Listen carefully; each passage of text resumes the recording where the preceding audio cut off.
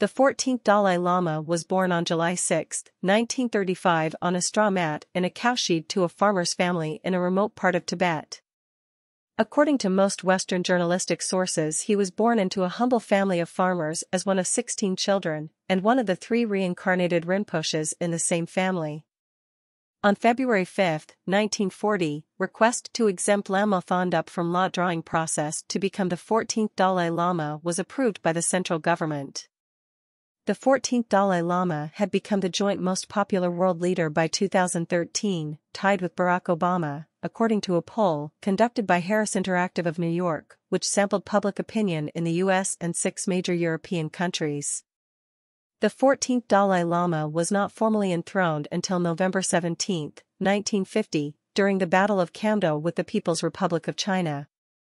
On April 18, 1959, the 14th Dalai Lama issued statement that in 1951, the Dalai Lama and the Tibetan government were pressured into accepting the 17-point agreement for the peaceful liberation of Tibet by which it became formally incorporated into the People's Republic of China.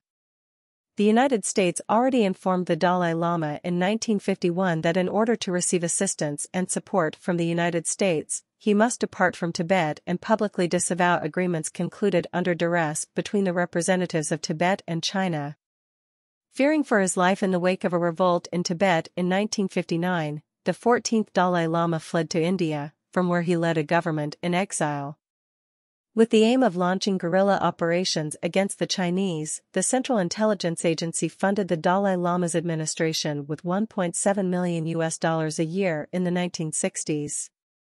In 2001, the 14th Dalai Lama ceded his partial power over the government to an elected parliament of selected Tibetan exiles.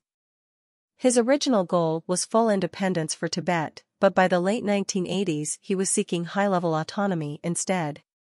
He continued to seek greater autonomy from China, but Dolma Gyari, deputy speaker of the parliament in exile, stated, if the middle path fails in the short term, we will be forced to opt for complete independence or self-determination as per the UN Charter.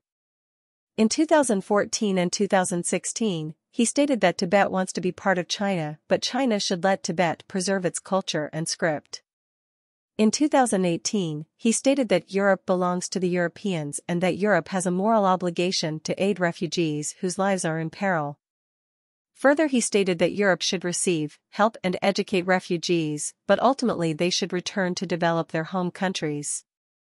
In March 2019, the Dalai Lama spoke out about his successor, saying that after his death he is likely to be reincarnated in India. He also warned that any Chinese interference in succession should not be considered valid. In October 2020, he stated that he did not support Tibetan independence and hoped to visit China as a Nobel Prize winner.